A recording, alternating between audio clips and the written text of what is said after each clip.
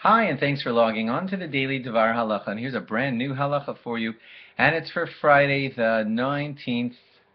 Yeah, sorry about that. The 19th day of December. I want to explain to you very clearly what we have to do for candle lighting for um, Hanukkah for Friday afternoon. Here's the thing. A lot of shuls do the lighting of the Hanukkah candles. Let's do the shul lighting first. They do them in between Mincha and Maariv. And that's fine. That's a lovely time to do it. A lot of Pirsumi Nisa broadcasting the miracle. A lot of people get to see it and all that. But here's the issue.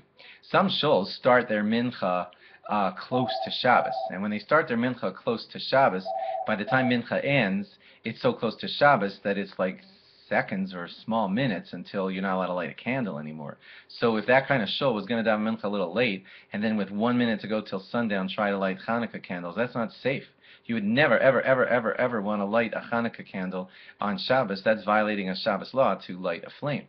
So, what a lot of shuls will do, and I hope you can help see to it that that's what you will arrange for your areas, is that mincha is scheduled for earlier.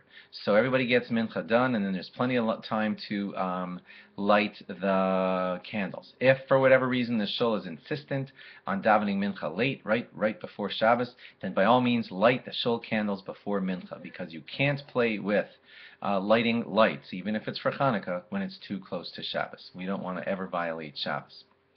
Now for the home.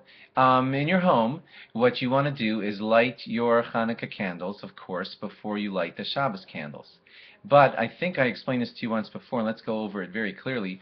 Really, your Shabbos, sorry, really your Hanukkah candles are supposed to be lit from the time of, whoops, yeah, they're supposed to be lit from the time of Tzeis HaKochavim, that's nightfall, Baltimore area, that's about 5.30.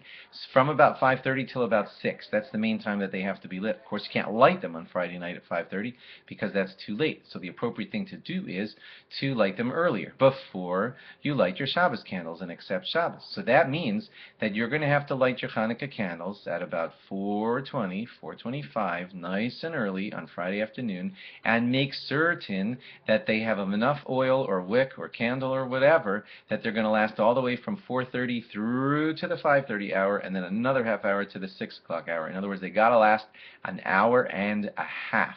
So you have to make certain that your candles or oil or whatever are well checked such that they have the power to last from 4.30 to 6, approximately, depending on how it works in your city. But those are the kind of parameters everybody's going to have to do about an hour and a half.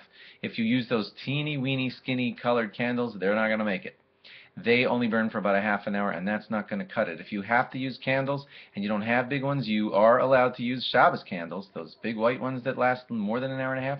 Don't put them so close to each other so they won't melt each other down. And set up Shabbos candles if you have to.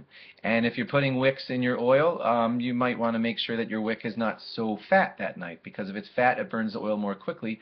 If it's skinny, it'll burn the oil more slowly. So you might want to watch for that too, just to make certain that your candles are set up to last from around 4 4.30 till around 6 o'clock on this Friday, Erev Shabbos Hanukkah. Thanks for logging on, and log on again after Shabbos for more. Bye-bye.